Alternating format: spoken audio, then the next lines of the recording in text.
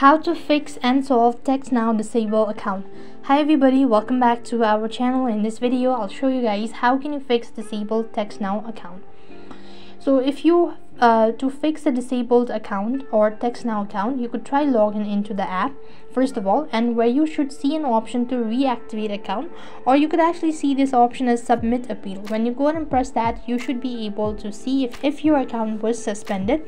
So what you could do is you could go ahead and tap on it and then you could go ahead and submit an appeal. There what you could mention is that you have to go and explain why your account should not be suspended and should not be disabled, all of that and make sure to provide in your information that is registered with the text now that could be able to fix the issue as well.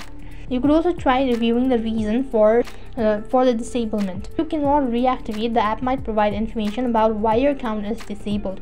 So you could read it out and if you if you violated the terms and policies, then you could actually go and wait for a couple of hours or maybe a day. If the disablement is for a temporary period of time, it could be able to lift the ban after 14 or maybe 7 days.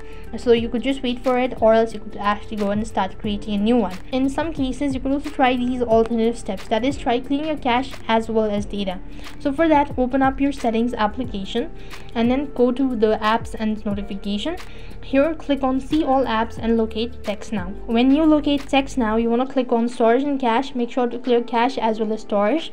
At the same time you want to go ahead and uninstall the application by tapping onto the uninstall and then restart your device and once again reinstall the application and now try logging in. That could be able to fix the issue as well. Despite all of these methods if none of these procedure works you could directly contact the support team so for that you want to exit out of this page open up a browser and on the web address bar you want to type in TextNow support and click on the link that comes and then you are you could go and contact the support team let them know about it and they will be able to provide you with the information. So this is how you could fix TextNow disabled account i hope the video was helpful. Make sure like share and subscribe to our channel. Thank you for watching. See you in the next video